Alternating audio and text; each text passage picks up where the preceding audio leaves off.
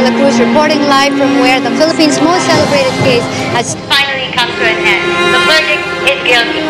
I have a great opportunity for you. Merong breaking news sa Kamandao. Tinanggap mo yun? Pumayag ka nang hindi mo malang sinasabi sa akin? Hindi mo ba alam kung gaano kadelikado sa village na yun? Pa- Paano kung anong mangyari sa iyo sa Hindi naman ako mawawala eh.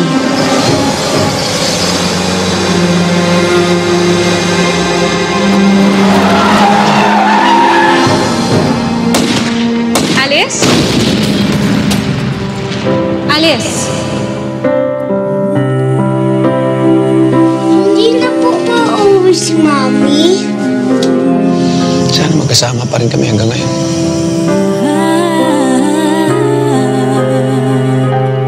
I don't know why, but I feel so numb from what you do to me. Naalala mo nung college tayo? In love na in love sa'yo si Alice. Nagkakalayo ni Alice eh. Don't wanna be Saan asawa at anak ko? Napakahirap para sa amin na bubuhay nang mawala ka. Paano mo babawiin ang iyong pamilya? Balita ko nga, you took my place eh. Salamat sa tulong mo ha. Pero next time, sana pumunta ka lang kapag kinakailangan ka.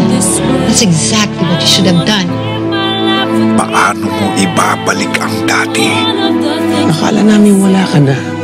Ganun ba kaseryoso ang pagbabalik niya na hindi mo nasabi sa akin nandito ng best friend ko? O best friend mo na siya? I struggled to move on. Ah! Gusto mo pala akong patay. Patayin mo na lang ako ngayon! Alice! Alice! Alice! Bawat isa ay may hindi malilimutang karanasan. Hello, this is Alice and welcome to Breaking News. Pumatay ka na! Hindi mo inagawa si Juan! Angel Aquino, Mercedes Cabral, at Cesar Montano. I just wanted to come home. I just wanted to be with my family. Why did you hurt me?